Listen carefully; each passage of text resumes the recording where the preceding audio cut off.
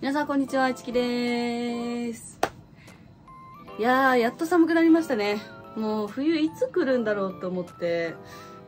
ずっと待ってたんですけど、やっと冬が来たなということで、今回は、えー全国、一年中全国釣りをして渡り歩いている私からですね、皆さんにぜひおすすめしたい防寒グッズを紹介していきたいと思います。よろしくお願いします。はい、じゃあまず1点目。こちら。じゃーん。コロンビアのオムニヒートシリーズのダウンジャケットです。これはもう私去年1年むちゃくちゃ使い倒したんで、まあ、SNS でもしかしたら見かけていただけた人も多いんじゃないかなと思うんですが、もうこれがマジですごくて、私基本的にめっちゃ寒がりなんですよ。寒がりだし暑がりだから自分の体温調節ってすっごい難しくて今までこのダウンジャケットを見つけるまでは自分の体温調節には何が一番最適なものを最適なのかをすごくいろいろ模索してたんですよ。でなかなか見つからなくてでこれに出会った途端あもうこれ1個でいいじゃんってなりました。でそれがこのオムニヒートっていうのがこの中がねキンキラキンなんですよ。キンキラキン。これ見たことある人もいると思うんですけどこれが本当にあったかくてでしかもこのコロンビアの製品は完全防水なんですよ。だからもう釣りにぴったりですし雪の日も雨の日も例えばシーバスとか行って海の釣りとか行って結構ね船のヘリとかも濡れてたりするからそこに寄っかかって濡れちゃったりとかお尻濡れちゃったりとかするんですけど全然浸水もしてこないし何よりその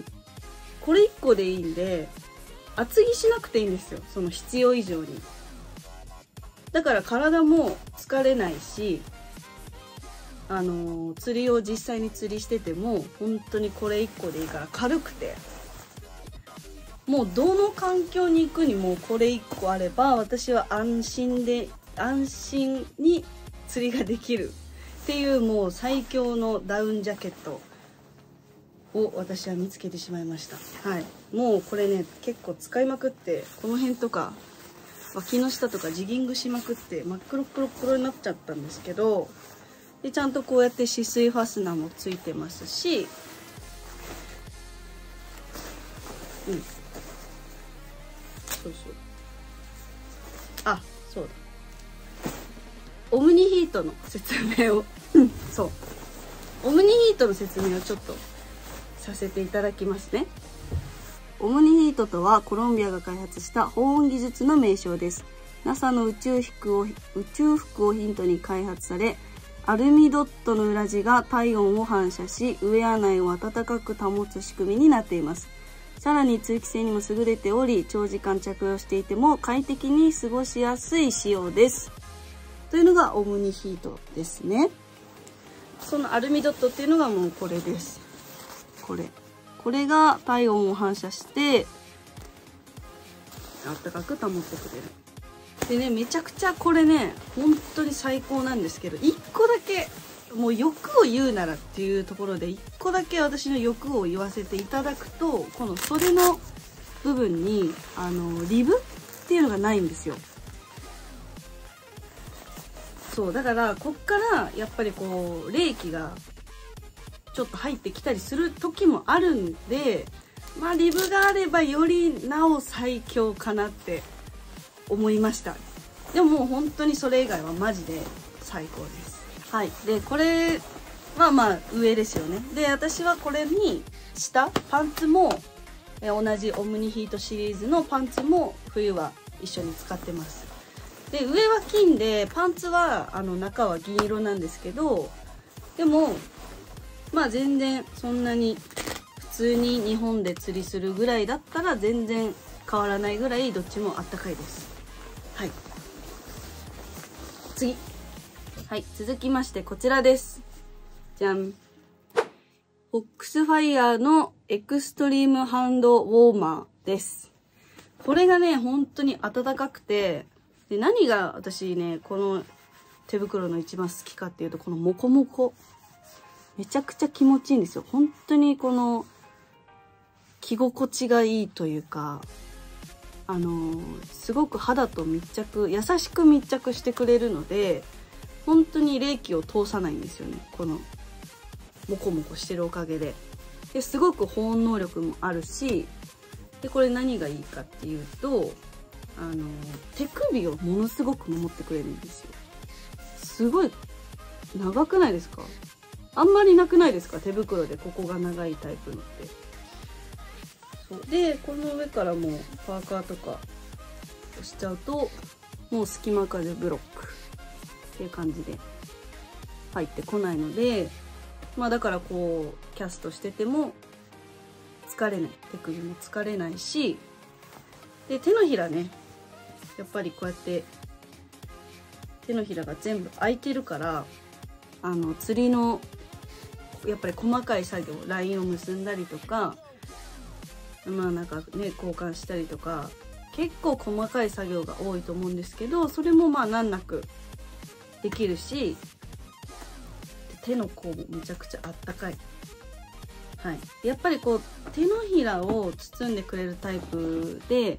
この指先だけ外れるタイプの手袋あるじゃないですか。で正直私あれあれで細かい作業をするのが結構難しくて。やりづらくて。で手の大きさに合うサイズの手袋っていうのもなかなか、まあ、見つけられなかったですし。そう結局こう小指ねなんかこういろんなタイプの手袋を使ってきたんですけどやっぱりもうこれが一番私的には使いやすくて暖かかったです。はい。ただもう本当に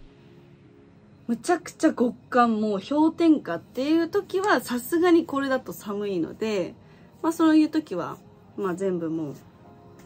しょうがなく使ってますけど基本的には私はまあ今年は暖冬ですけど基本的に今までその冬の釣りっていう時は、まあ、バスフィッシングに関してはいろいろね指先を使って使う所作とか動作とかも多いので基本的にはこれを使ってます。で逆に動作が少ない海もう落とすだけの海とか例えばジギングだったらもうルアーを落とすだけとかあんまりこう細かい作業がないのでそういう時は普通の手袋を使ったりしますけど基本的にバス釣りの時は私はこれを使ってます。もうねここを守ってくれるのがめちゃくちゃありがたいんです。本当にフォックスファイヤーさんありがとうございます。はいこれはまあ知ってる人もこのアイテム知ってる人は結構多いと思うんですけれども改めてこれは私からおすすめさせていただきます。はい続きましてインナーです。これ下のインナーなんですけどはい。えー、モンベルのスーパーメリノウールです。はい。これねあのー、私基本的にインナーは今まで、えー、あのユニクロの極暖とか超極暖とかそういう化学繊維が入ったものを使ってたんですけどなんかねやっぱ釣りってやっぱ汗かくじゃないですか。どんなに寒くてもこうずっと動いてるから日中ね日が照ってきたりしてきたらやっぱどうしても汗をかくものだと思うんでなんかねそういう化学繊維が入ったものだと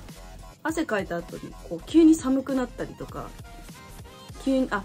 汗かくと急に暑くなって暑くなりすぎちゃってでもっと汗かくでしょ？でその汗が引いたらやっぱこう寒くなったりするんですよ。その肌感が。肌感ですごい寒くなったりするんですけどでその時にまあ、とあるおすすめを見てこのメリノールがいいよっていう動画を見つけてですね、まあ、ちょっと試しに買ってみて、まあ、履いてみたんですよ。で、私が選んだのは、あのモンベルの厚手のタイプ。どっちかというと私、下の方が冷えるので、足の方が冷えるので、これはね、厚手にしたんですけど、これ、本当に一定でずっとあったかいんですよ。でも正直こんなに差があると思ってなくて、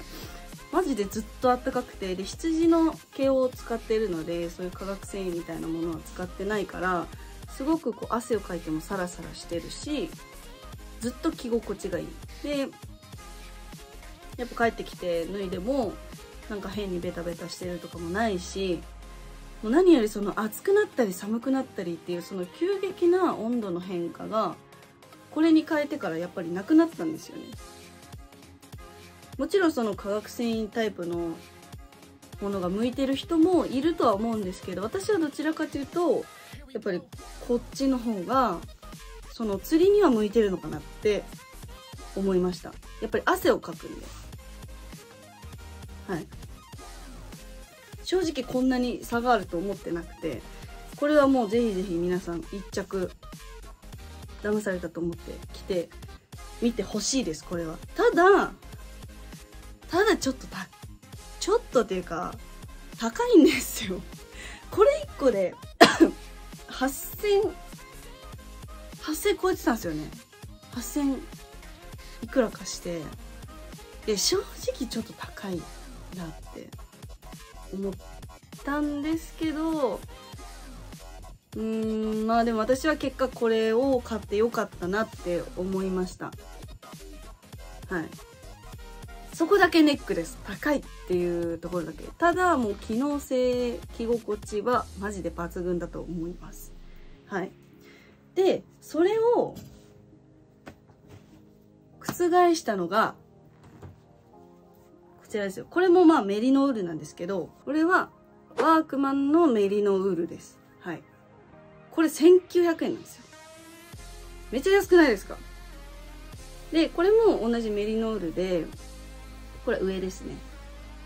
で私はそのメリノールじゃなくてそのこの上に着るタイプはちょっと薄手のものを選びました、まあ、っていうのも上は結構着込むんででダウンもあるしこれ着てパーカー着てダウン着れば結構どんな寒さの釣り場に行っても基本的には耐えられます。はい。そうただやっぱりこう値段だけあってちょっとへたりやすいかなっていうところは正直ありました洗濯とかしてると。はい。であの生地も結構こう緩くなってくるので肌との密着感がやっぱりこう使ってるうちにへたりやすいっていうところはやっぱりモンベルのと比べて値段の差が出るのかなっていう感じです。ただまあ1900円なんでねこれは。まあ買い替えとかすぐに買い替えられるお値段で。手頃に試すにはワクマさんの方がいいのかなって。で本当にもう本格的に使いたいよっ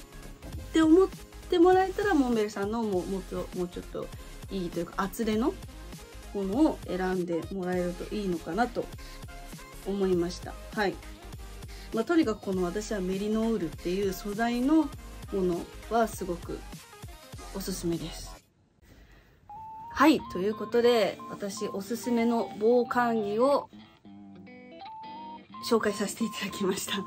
やっぱり防寒ってこう高い買い物なので少しでも皆さんの参考になればなと思います。で今紹介した商品のリンクは、えーと、下の概要欄の方に貼ってますので皆さんぜひチェックしてみてください。あと、もし皆さんのおすすめの防寒着があれば、コメントでいろいろ教えていただけると嬉しいです。はい。じゃあもう皆さん私がおすすめした防寒着を着て、まだまだ寒いですけれども、冬の釣り場に出かけて、たくさん釣りを楽しみましょうはい、ということで最後まで見ていただいてありがとうございました。チャンネル登録と高評価よろしくお願いします。ほいじゃあのー。